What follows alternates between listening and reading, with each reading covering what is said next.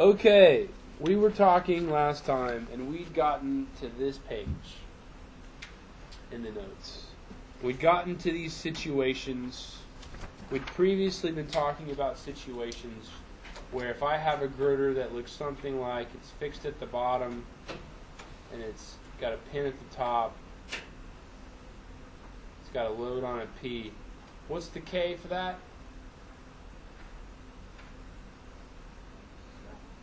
Point seven. Is it sway or no sway? No sway, right? um, yeah. And then I have a situation that's like this. What's the K for this? Need to use the alignment chart. You need to use the alignment chart. Whenever you have a beam that's connected with a moment resisting connection, it's not a fixed connection up there. If it is, the beam would have to be like infinitely stiff. It's not. Okay. So you have to use the alignment chart. And that's what we're going to be talking about today. Introducing the alignment chart and then corrections to the alignment chart. Okay, so I introduced this. I said, what happens if we took a frame and I have connections here that are moment resisting connections? Remember, th- those aren't fixed. I mean, they're not fixed. They're not fixed connections. They're moment resisting connections. And how do we handle situations like this? And I'd say, well, it, it, it starts to have to start to play the what if game. Okay? If if I sub b is really, really small, like a noodle, really, really thin, like nothing, then those columns are going to be deflecting like crazy. That beam's going to be whipping around looking like something like this. Okay? And it's going to almost be like as if those the, that thing's not really there and it's pretty unstable. If I sub b is really, really small. But what if I sub b is just honking large? You know? It's it's just doesn't want to move. Okay? Well, the deflected shape is going to look something like that. It's going to be approach a fixed connection, right? And we would say the K here is somewhere between 2 and 3, or close to 2.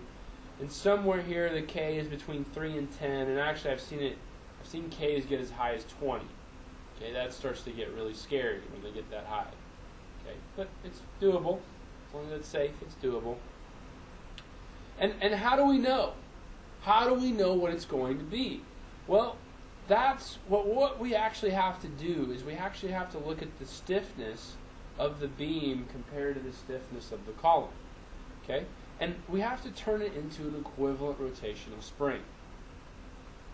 We have to come up with an equivalent rotational spring for the top and an equivalent rotational spring for the bottom. And the cool thing about this is after we have this equivalent rotational spring, we can solve any problem. It doesn't matter what it looked like before. If you can lump it and turn it into an equivalent rotational spring on the top and the bottom, then it's all the same. It doesn't matter. It doesn't really matter if there was 10 beams or 2 beams or 1 beam that went into making this spring at the top. It just matters there was a beam and it has this stiffness. So what we're going to use, we're going to use this trick, this this awesome, and every one of you should get your checkbooks out. And after writing your check, your yearly check to Oklahoma State University, with my name on it, of course, um, you should then write your check to the grandchildren of Jackson and Moreland, or probably the great great grandchildren of Jackson and Moreland, because um, especially if you're about to go work for a tower company, they will make your lives livable. Okay, without it, you would not want to live your life. Um, and because what you'd have to do is you'd have to do a differential equation every single time. Every single time you're going to um, try to solve one of these problems, and they kind of simplified things. Now, to simplify it, they made the following assumptions. They, they basically came, they basically, well, the Jackson Moreland alignment chart, and these are two guys from Boston um, in, in about 1920s um, that, that determined this this um, this chart, this ability to um, determine the effective K from a situation like this. from a graphical solution to a differential equations of a column with two rotational springs with the following assumptions. And what they did, it's just amazing. Because you flip over on this previous page and these are in your in your manual. And I wouldn't draw on these, okay? I would I would photocopy these and save these for your grandchildren, okay? Because it's that amazing, okay? They're that awesome because every single time you draw a line on this, I just solved a five-page differential equation. Isn't that amazing? Thank you, Jackson Moreland. Thank you to your spirits. I appreciate that. You come in here with a G from the top. You come in with a G from the bottom. You draw a line. Boom! You get your K. Remember, there's going to be one of these charts, one of these differential equations for sway. There's going to be one of these charts, one of these differential equations for non-sway, for no sway.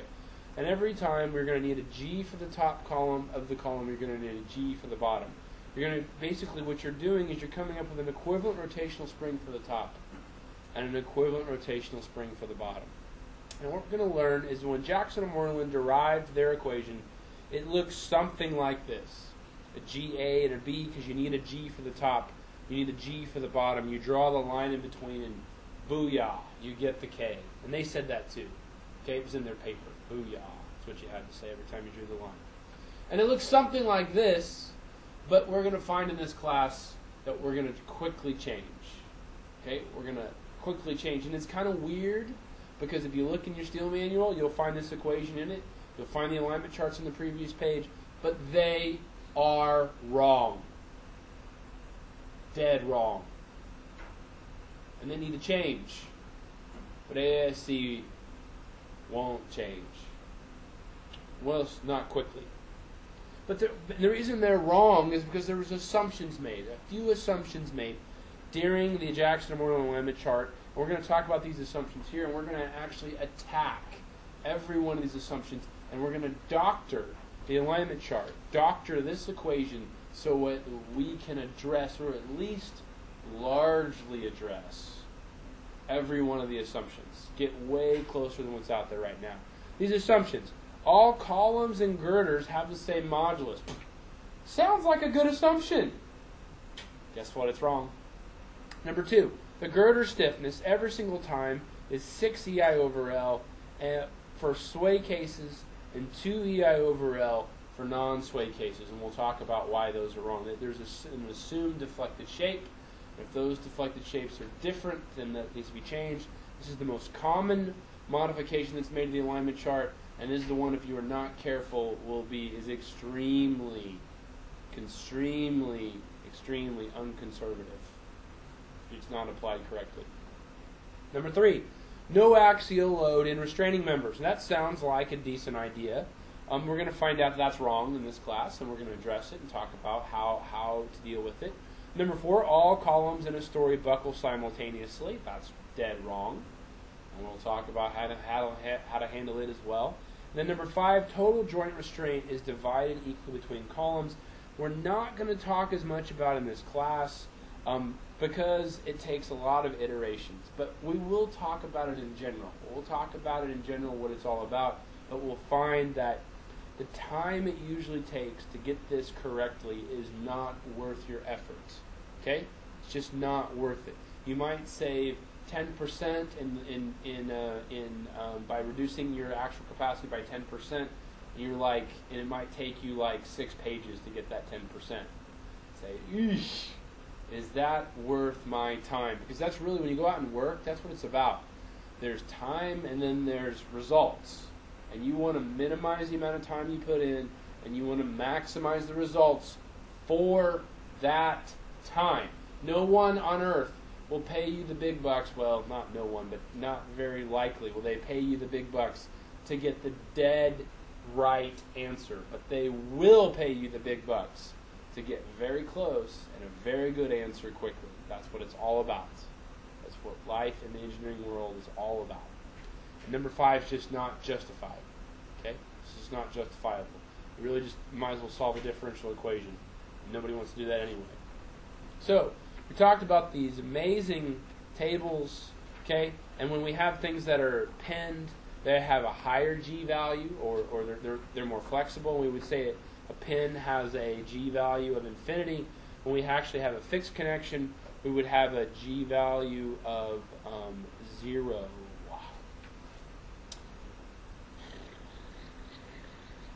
Talked about that page. Booyah.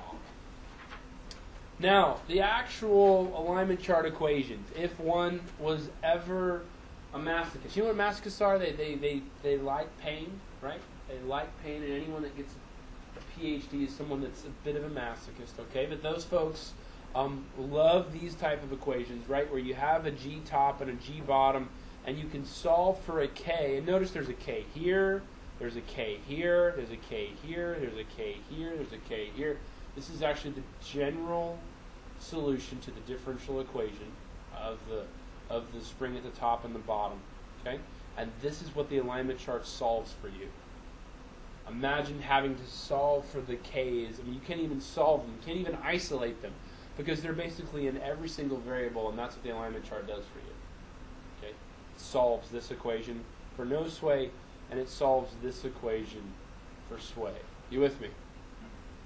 Yes. It's pretty awesome. While the alignment chart is very useful in the previous form, it has basically, it's sad, but extremely limited applications. It's actually only limited, it only can be used as it's written if every column is the same size.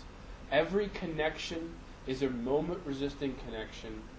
Every load on each column is the same, and you only are dealing with one story structures. Not very useful. But we're gonna don't worry, we're gonna figure out how to make it right. Oh, I said in fact it only applies to one story structures with moment connections at each joint, equal loadings on each column, and actually each column has to be the same size too. The only reason, only way it truly works. However, with some slight modifications, we can make it way more accurate, and that's the magic we're going to be working in this class. We're going to talk about assumption number one. All girders and columns have the same modulus. And I bet at the beginning of the class, or if you haven't seen something like this, you just said, "Chat, that's a great assumption." All modulus. What's the modulus of steel? Twenty-nine thousand ksi, right? Oh, you're wrong. In certain circumstances, for lightly loaded columns, this is a great assumption a dead on good assumption. For medium to highly loaded columns, this is a bad assumption. And it's not that the modulus changes, ladies and gentlemen, it's that the effective modulus changes. And I'll explain that in the next couple pages. All rolled and built up sections, everything made out of steel, actually, everything made out of just about every single material on the face of the earth that's not highly, highly, highly um, modified is built with these things called residual stresses. And in steel, what they what they come from is the cooling and rolling process. If you can imagine when this steel member comes out of the rolling process, we have chunks of steel here that are a little thicker. So they're going to cool at a different rate than the chunks of steel here, here, and here. Because of that, there would be built-in stresses inside of our member. Built-in stresses. It looks something like this on the bottom flange. It looks something like this. You say, well, what do you mean built-in stresses? I mean, if a steel shape is sitting on the countertop here with no load on it whatsoever, what's the overall stress? It's not flying through space. If it's not being loaded, the stress is zero, right? Has to be zero, right? And it still is. But these residual stresses cancel each other out. If you have compression, high amounts of compression in some areas, you have to have high amounts of tension in other areas. So again, they, they cancel each other out, but they're still there. They're still there. They still exist. And in welded shapes, it's even weirder. Because not only do you have residual stresses from these plates to begin with, but when you do the welds, they totally warp and change what your, what your residual stresses look like. like, what? Why have I never thought about these before? Well, if you had me previously from steel, we did talk about them when it comes to columns. But if you haven't, you'd be like, you're you were cheated basically. Okay? No, you didn't have to worry much about them because when it came to failure, they weren't that big of a deal until now. They weren't that big of a deal until it came to columns. But now they've become a big deal. When these sections are loaded, actually portions of the cross section begin to yield. This is the reason they don't follow the Euler buckling curve. Remember how we talk about there's a mathematical crushing, a mathematical buckling equation, but our real test data doesn't follow that. And one reason why is residual stresses, imperfections, imperfect loadings. Residual stresses is a biggie, a real biggie. Okay? And we're going to actually have to start taking that into account. Take into account these these residual stresses, so we're not able to get what we think will happen because these residual stresses cause things to happen first. What? What am I talking about? Sounds like I'm talking some like crazy talk. Well, I am, but let's talk about. It, it does have some applications here. I'm going to show you. I'm not going to go through all the details. You can look at these on, on your own. But I'm going to take a, a plate of steel. We can imagine this being some more complicated section we can imagine the residual stresses being more complicated, but I'm not sure why you'd want to. If you can explain things simply, why the hell not, right? So let's talk out with let's start out with just a very typical steel plate, and we're going to take it through this stress strain curve. Ugh, this is typical. We know this. This is boring, dumb. Oh, we're going to add something to it. This plate's going to have some residual stresses in it because of the cooling process. It's going to have tension and compression. So the outside parts of the member started to cool first. They start to shorten. It's going to put the member in tension. You with me? Great. Tension and compression. So under no load whatsoever, and this, believe it or not, happens in every single piece of steel on the earth. The only way you can make this not happen is if you cooled, if you took it all up to the same temperature and you cooled it ever so slowly. So every single ounce of steel experienced the exact temperature and you brought it down very carefully over days. Doesn't sound very practical, does it? When they make steel, they roll it and they just throw it in the in the warehouse and let it cool. Okay, they actually they actually put a um, quench it with a bunch of uh, treating material. They spray a bunch of chemicals and stuff on it to actually harden the steel, actually make it have more um, ductility. But uh, that's uh, neither here here nor there. So they don't build them like they don't build them like they need to to make perfect resi- without any residual stresses. But it's okay. We just have to learn how to live with it. So as I start loading this member up, what happens, and as I start moving along this this curve, it happens. Nothing happens at first. We start loading it up um, until the very tips out here. Um, the stress diagram isn't constant. I mean, we would usually think if we put some kind of P on it, some kind of axial load on it, would be P over A would be the stress, right? And the average stress, that's right. The average P over A, that's right. If I averaged every point along this curve, it would be along this line. It just so happens that never happens in real life. You have some points that are higher stressed and some points that are lower stressed because of residual stresses. And as you start increasing this more and more, you start to hit this point starts to hit the residual stresses. First, to hit this point where the residual stresses plus the axial load causes it to start to yield. Well, what's that mean? Well, as we keep increasing the load, that means that that stress cannot go any higher. It stops right there. As we start increasing the load, again the stress goes higher, but not but that part's not. Now, when something hits yield, what do we know? What do we know what happens to the stiffness? It's nothing. It's nothing. It's almost as if it's not even there. In this situation for this column, when we add, when we when we look at stress, it's P over A, right? Right? So if something has lost all stiffness, does it can it take any more load?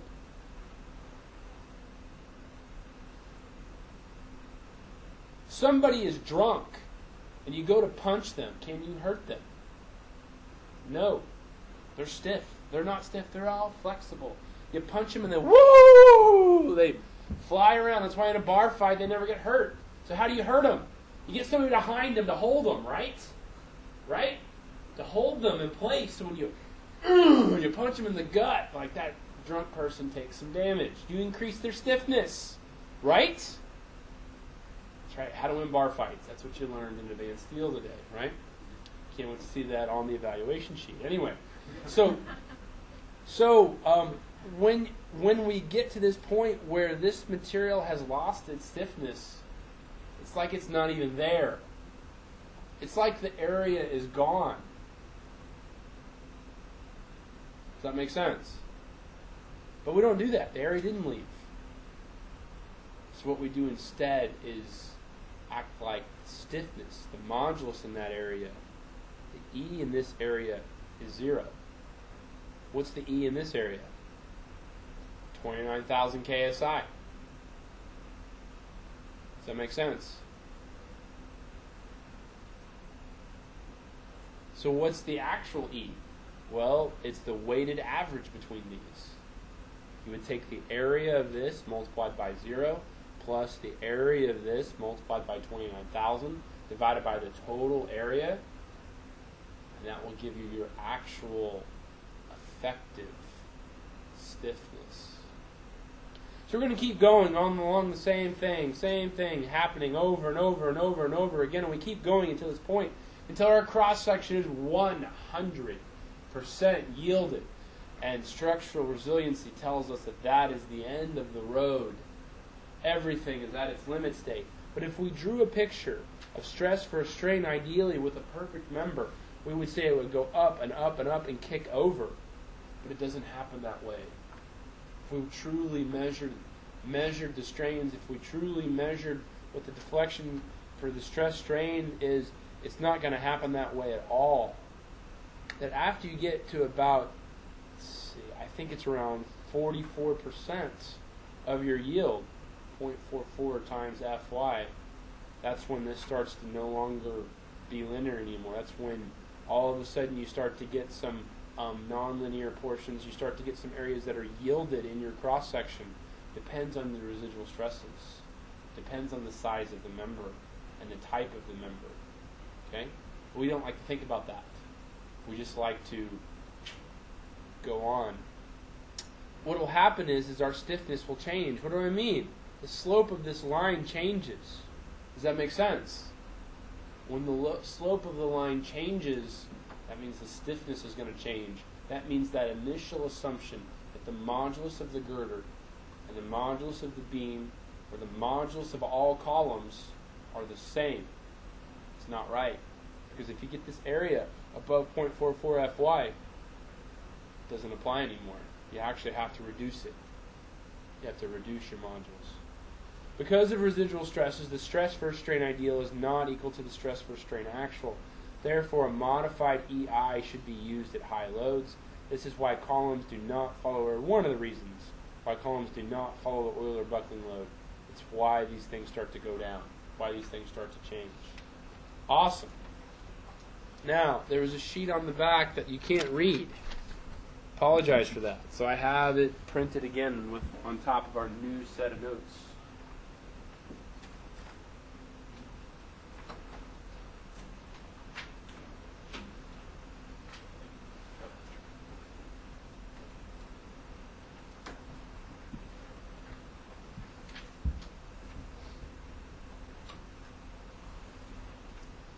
Okay, so we're not going to cover everything. We're going to get started though, just a little bit. Spend about five more minutes talking about this, then we'll um, then we'll stop.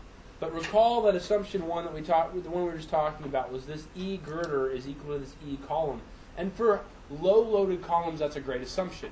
But for high loaded columns, as I just showed on the previous page, bad assumption. Bad assumption. And so if we can think of this, bringing this E back, and E on the top and E on the bottom, we're going to use something called the tau factor. Tau factor does is it's really the ratio of the actual E over the ideal E. Okay, and we're going to use the tau factor. And there's a table in your manual, um, table 421, and it used to be on page 4317. I, I think it still is, but you should check it. It's close to that at least. Um, and it, it gives you the tau for different Fy and stresses. So this is pretty cool. This means all I need is P over A. All I need is to look up the stress on my column. And I go up and I look at it in the chart, and it gives me a tau factor. Tau factors are going to be anywhere between 1 and very low numbers. Okay? And what they do is they modify the stiffness of your column. And you'll have a tau factor for each column. Kind of. We're gonna, that's going to change as well. You're going to have a tau factor that goes in the numerator. Does that make sense? So, I'll ask the question again. All we're do, all we've done here is we've modified this g. We've just modified it by adding a tau factor to the numerator. For what you know now, you'll use a tau factor on every column. So if I have a joint here, I have some uh, structure. Say it looks like that. I'm not sure. Uh, I don't like that structure, so I'm adding another column there. Let's say I have a load here, and I and I'm I'm looking for the k of this column. So when it comes to, I have my g bottom. My g bottom is going to be equal to what? Infinity. Infinity. And when it comes to the top, I have to solve for a g, and I'm going to have this summation of i over l of my columns. And um, for now, going to change in a little bit. For now, you'll have a column on the top and a column on the bottom. Yeah? And you'd find a tau for the top, and you'd find a tau for the bottom. Right? And that's going to go in the numerator. Yeah? And then you go for the denominator of the g. And there's beams. There's a beam here and a beam here. So you're going to find the I over L for the beams on both sides. If you've never used the alignment chart, you probably should open a book. Probably should, you know, make sure you really look at this hard, okay? Because it's a little odd, but it's pretty powerful and important. I think that's a good stopping place for today. Is there any questions about the tau factor? Any of that stuff right now? All you're doing when you use the tau factor, remember, G is all about accounting for stiffness. It's accounting for stiffness at this joint. The equivalent rotational stiffness at that joint. The tau factor, all it's doing is it's discounting the contribution of the columns to that stiffness. Remember, I, that's a stiffness term, L, that's a stiffness term, and E is a stiffness term. And we're discounting the contribution of the E to the stiffness at that joint from the columns. Okay? And, that, and everything's going to be changing. This We're going to keep morphing this equation. This original equation is going to morph and morph and morph and morph over and over and over and over again. Okay? Keep being modified.